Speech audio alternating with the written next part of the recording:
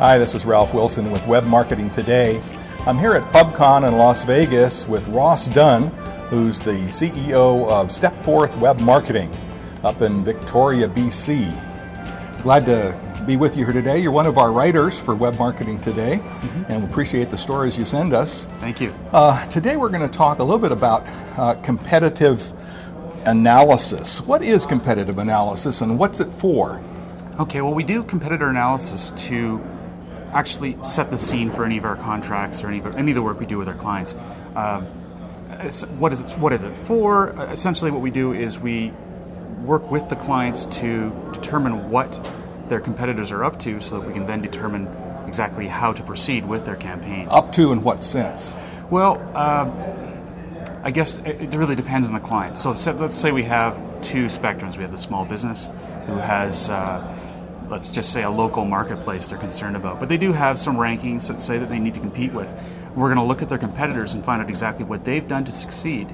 And some of them have. There's always someone above them, right? right. That's why they're. Now we're talking about search engine rankings. Exactly. So you're looking at how they got to the ranking on the search engines that they did, what techniques they used, that kind of thing. Yeah, exactly, and what other contributing factors there might be. In some cases, that I hate to say it, but sometimes they luck out. They've got the right architecture on their website. They have a perfect amount of links. Their site may be poorly optimized, but they've got a great amount of links. Okay. So uh, it, it's quite a balance.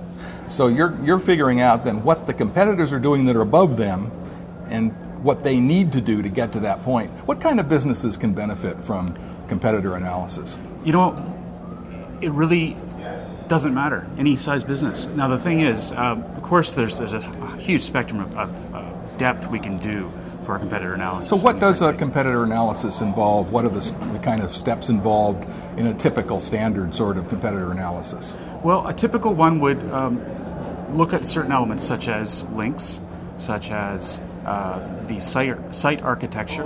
Um, we do a full analysis of their website, so we actually look through. It's almost a site audit of your competitors.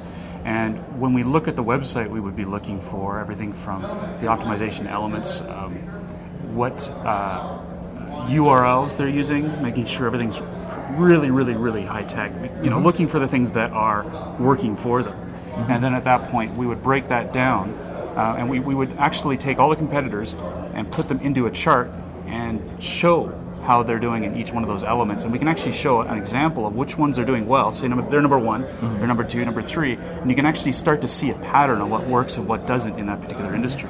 Um, and they do change. I, I, find that different industries, different keywords have different.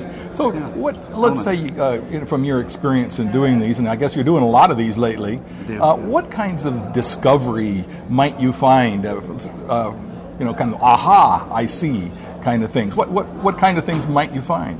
Well, you know, lately a lot of it's been links. Google won't like to hear that, but it's true. You know, the fact is, um, if you get a good link from someone, it's going to help you. Now, that of course, I guess that is within Google's guidelines. They're, they're like that. They like to see that uh, if you've got good content, you got good links.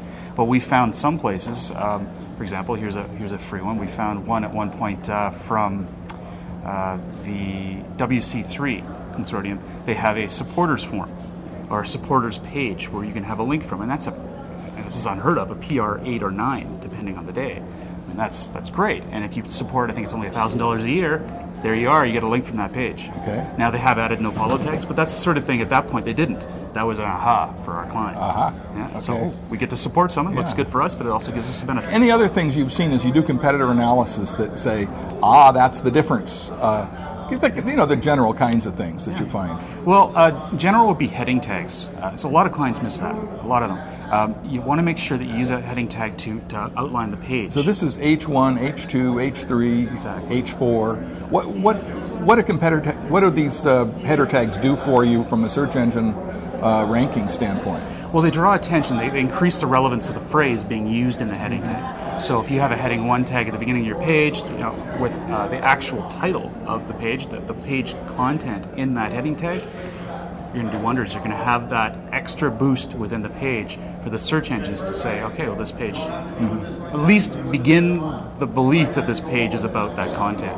So it really yeah. clarifies what the page is about and and uh, and emphasizes what you're trying to get them to index. It builds that necessary credibility, mm-hmm. and and you know from that point on, we also look at the, the the navigation. And we found a ton of websites out there that use uh, poor navigation schemes.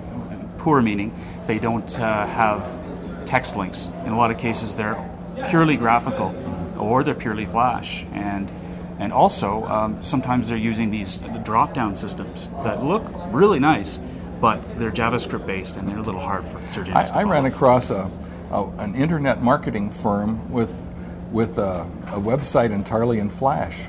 Ooh. So they have, but they do have meta tags and a title. Okay. But there's nothing on the page to index.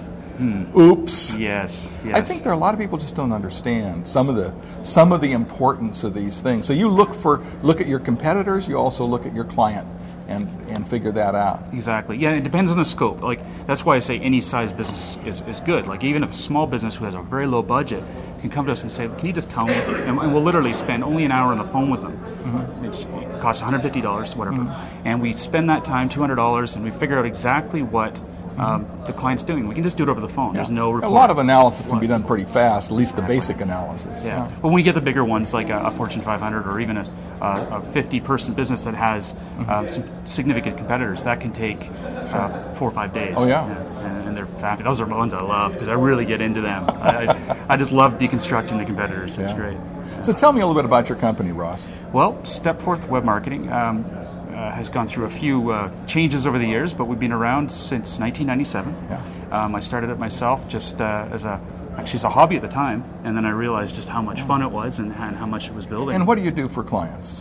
Well, we do search engine optimization, pay-per-click campaign management, uh, and a lot of analysis and research. So everything from competitor analysis to web analytics research, um, mostly basic in those realms at this point because we're still building those those wings of our company. Mm-hmm. And uh, very soon we're going to be moving into the social marketing sector as well.